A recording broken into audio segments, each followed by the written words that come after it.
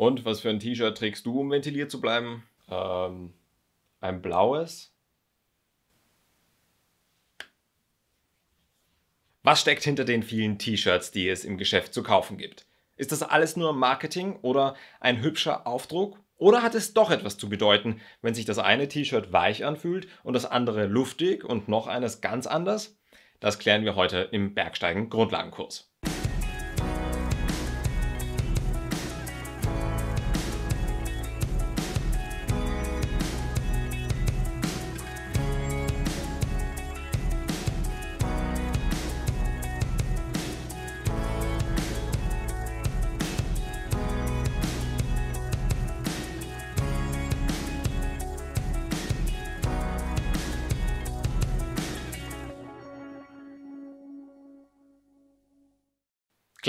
Bei T-Shirts, da reden wir immer von den klassischen Sommerbekleidungen, also einem einfachen T-Shirt ohne etwas drunter.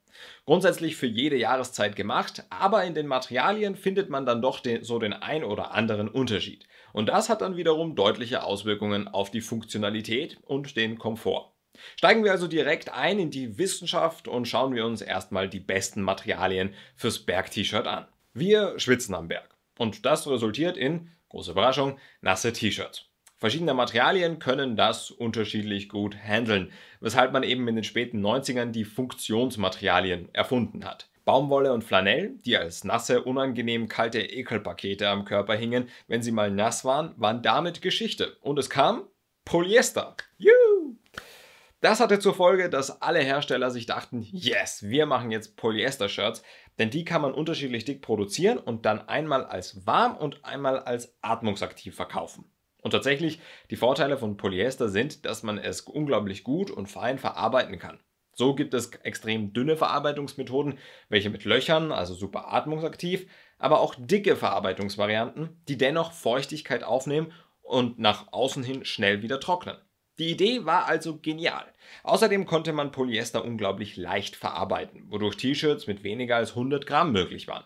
Eine Eigenschaft, die man in jeder Marketingabteilung ausgeschlachtet hat bis zum geht nicht mehr. Doch womit keine Marketingabteilung bisher geprahlt hat? Der Geruch.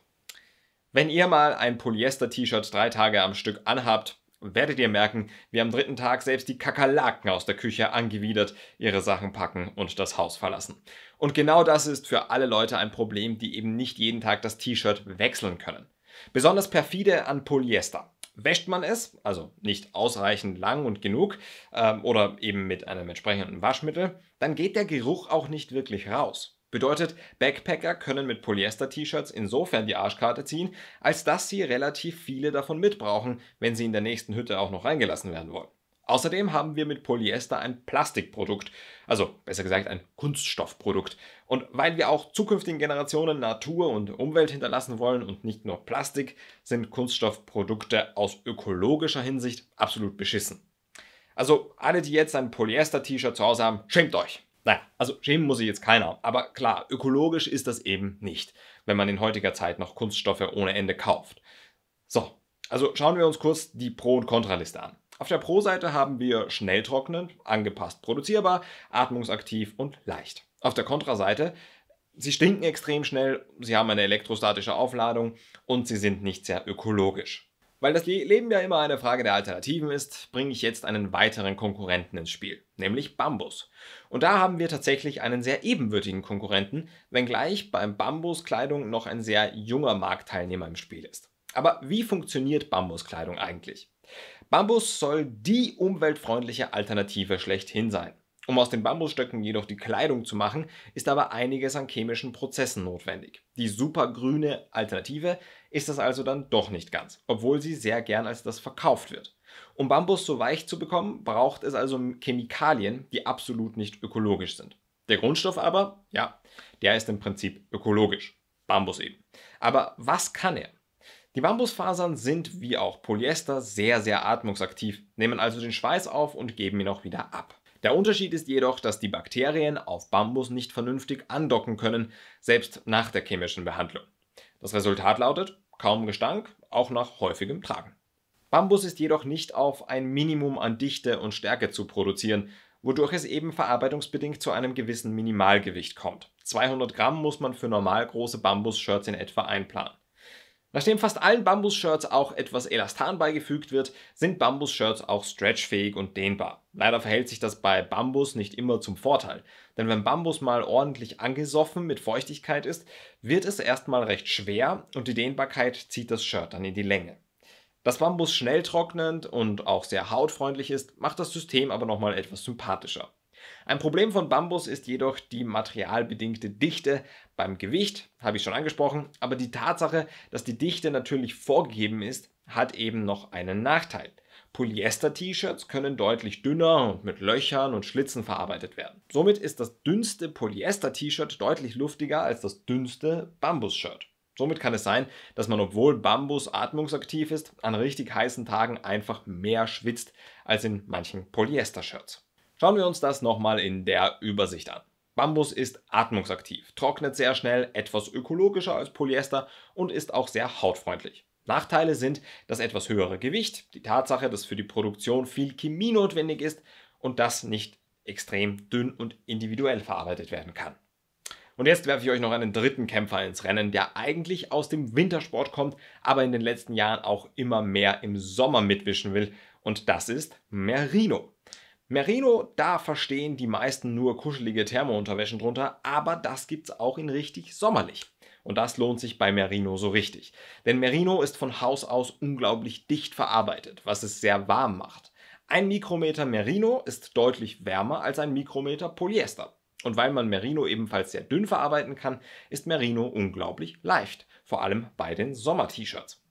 Merino ist außerdem sehr atmungsaktiv und transportiert äußerst schnell Feuchtigkeit von innen nach außen. Merino-Shirts brauchen wirklich nicht lange, um wieder trocken zu sein. In der prallen Sonne reden wir nach dem Waschen von einer halben Stunde bis einer Stunde, bis sie komplett trocken sind.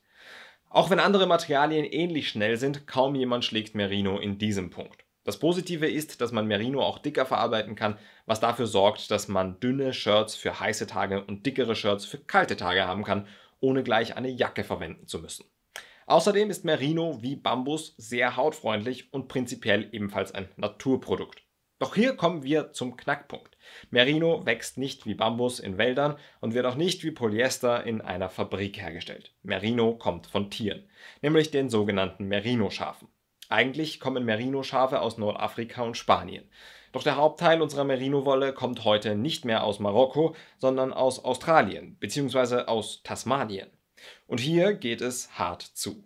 Denn Merino ist ein wachsender Absatzmarkt und der wird immer gigantischer. Jeder will Merino. Jetzt auch im Sommer. Die Schaffarmen werden deshalb immer größer und damit auch das Leid der Tiere. Denn wer bei Merino-Schafen an den verzottelten Bauern mit dem noch verzottelteren Schaf denkt, täuscht sich. Tiermisshandlung, Mulesing und Co. stehen in Australien bei allen Farmen auf der Tagesordnung. Es ist Folter. Doch es gibt ja das Responsible Wool Certificate. Ja, das stimmt. Und das ist Müll. Denn das Responsible Wool Certificate gibt an, dass die Wolle unter strengen Auflagen geschoren wird und dabei auch die Tierhaltung einwandfrei sein muss und so weiter. Ja, und wer kontrolliert das? Die Hersteller selber. Und wann kontrollieren sie es? Fast gar nicht. Und wenn, dann nur mit langer Ankündigung im Voraus, damit keine negative Presse erzeugt werden kann und alle Spuren bereinigt werden können. Ein Label, das nichts wert ist, auch genannt Greenwashing. Wer nicht weiß, was Mulesing ist, kann das gerne mal googeln, aber Vorsicht, das ist harter Stoff. Ein weiterer Nachteil an Merino ist, dass die T-Shirts in der Regel ein ganzes Stück teurer sind als gleichwertige Alternativen im Bambus- oder Polyesterbereich. Das liegt vor allem daran, dass die Platzhirsche in der Herstellerliste einfach stets nur teure Produkte vertreiben und dieses System eben auch fortführen. Die Margen sind bei Merino enorm. Hier also auf die Pro- und Kontraliste geblickt, zeigt sich, Merino hat eigentlich sämtliche Vorteile von Bambus, was natürlich genial ist. Außerdem kommt hinzu, dass der ökologische Fußabdruck im Gesamtbild etwas geringer ist als bei Bambus. Die Nachteile liegen aber auf der Hand. Merino ist deutlich teurer und mit der Massentierhaltung und der Tierquälerei eine echte Sauerei. Also, wie man es macht, macht man es falsch? Naja, Zugegeben, Bekleidung ist nie super fair, ökologisch und nachhaltig produziert. Unsere Baumwolle-T-Shirts genauso wenig wie die Sportshirts. Somit müssten wir auch immer das gleiche schlechte Gewissen haben und nicht nur beim Sport. Trotzdem haben die ein oder anderen Materialien Vor- und Nachteile. Was man jetzt letztlich nimmt und kauft und wofür man sich entscheidet, das bleibt immer einem selber überlassen. Und natürlich gibt es auch noch viele andere Materialien, die mittlerweile etwas bekannter werden. Ich denke da zum Beispiel an Hanf. Jedoch reden wir hier wirklich noch von Randprodukten bzw. Nischen. Mal sehen, wie sich da der Markt entwickelt. Welche T-Shirts tragt ihr so in den Bergen? Baumwolle, Polyester, Bambus, Merino, Hanf? Oben ohne? Schreibt es mir gerne in die Kommentare. Würde mich sehr interessieren. Bis zum nächsten Mal wünsche ich euch wie immer eine wunderschöne Zeit. Vergesst nicht, den Kanal zu abonnieren und wie immer, Bergheit.